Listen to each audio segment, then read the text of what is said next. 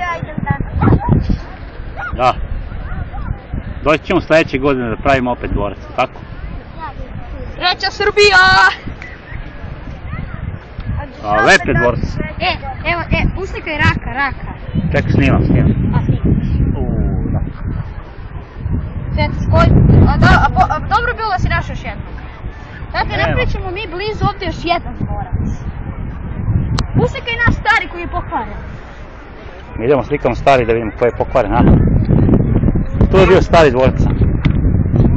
Tu.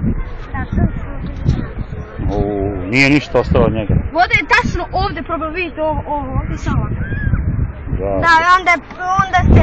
I onda voda došla ovdje probila i tamo i ove kule su se I posle, i došla, posle došla ovdje ona. Na pam se. Da, i sve probila ako tu. I ove sve celine probila. Ovdje je bilo jezero, ovdje su bile dve kule i još dve. Da, ovo što ona tako... Ali ovaj neće probiti jer smo napravili deblje zidove i veće. Da, ovo neće probiti jer su deblji viš kako... Prije su bili tamo, u ovom su bili tanji, ali sad su viš koliki su onako deblji. Uuu, ovo nema šanse, ovo će dostati do sljedeće godine, ja mislim. A, šta mislite? Neće niko da uništi, to će da grade. I ovdje će kao da bude neka zaslužna lokalni znak tako. I ovdje mu je Sad ćemo kao da... sad dodamo još jedan mali, to će biti napad. Dobro.